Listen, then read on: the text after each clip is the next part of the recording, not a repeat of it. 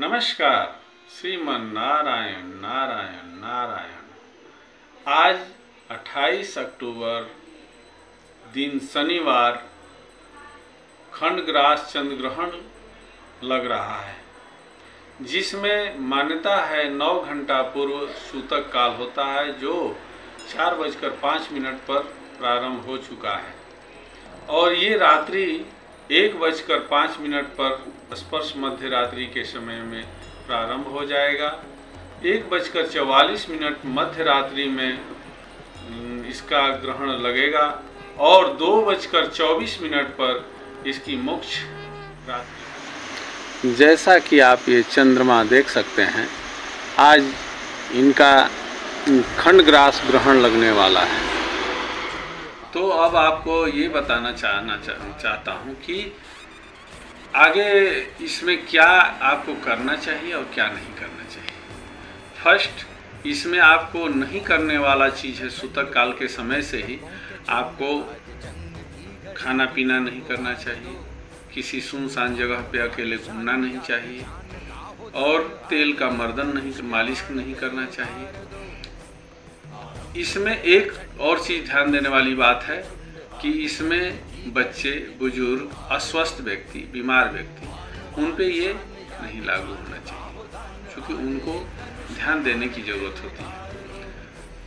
अब इसमें सूतक के समय में आपको भगवान का सुमिरन करना चाहिए। इसमें अगर आपको बगलामुखी मंत्र याद हो, स्मरण हो तो आप उसका आप जब कर आप अपने परिवारजनों के साथ श्रीमन नारायण। नारायण ऐसे जब कर सकते हैं। श्रीमन नारायण नारायण नारायण। लक्ष्मी नारायण नारायण नारायण। और आप आगे इसकी जानकारी रखें कि अगर आपके घर में भगवान का मंदिर है तो उसके ऊपर पर्दा रखें, उनके सामने न जाएँ। और आप एकांतवास में अपने परिवार जनों के साथ भगवान का सुमिरन करें।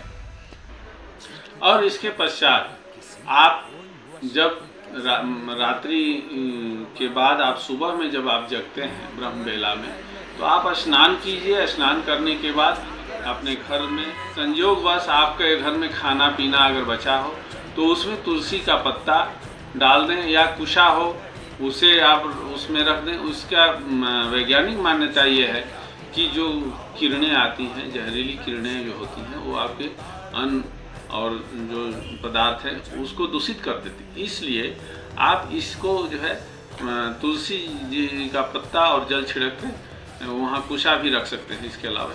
तो उससे क्या होगा कि वो वर्जित रहेगा। वहाँ पे वो किरणों का प्रभाव नहीं पड़ेगा।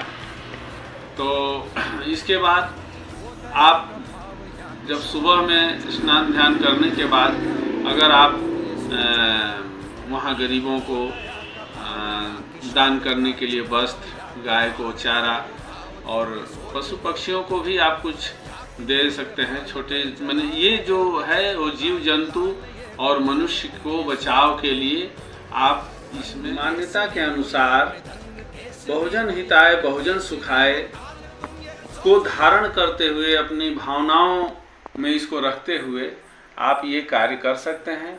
इसके साथ ही मैं आपसे सादर नमस्कार करता हूँ और आगे फिर आपसे मिलने का उम्मीद करता हूँ। धन्यवाद।